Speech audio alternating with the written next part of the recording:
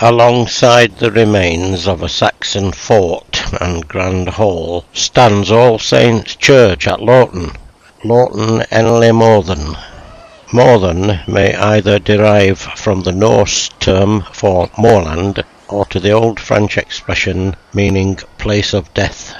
This latter is possible because here was the site of the Battle of Brunanburh in 937 AD, a crucial battle between the newcomer Saxons and the earlier invaders now settled the Vikings and Celts.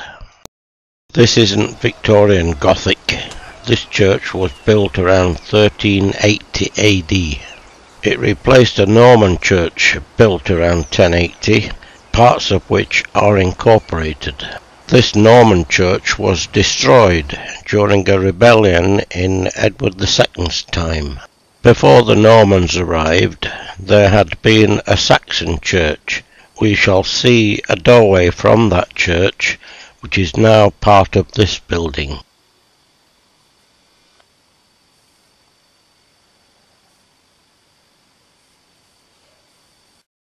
Laughton is a small village surrounded by large towns like Sheffield, Rotherham and Doncaster, and larger villages like Dinnington and Thurcroft, which were once coal mining centres.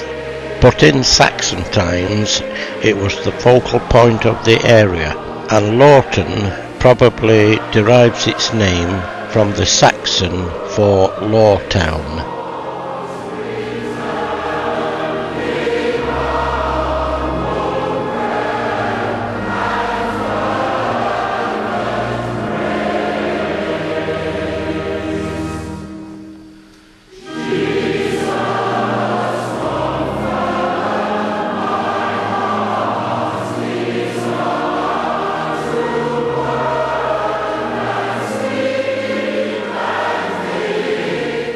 The magnificent tower of this church is about 185 feet tall and the church is set on high ground.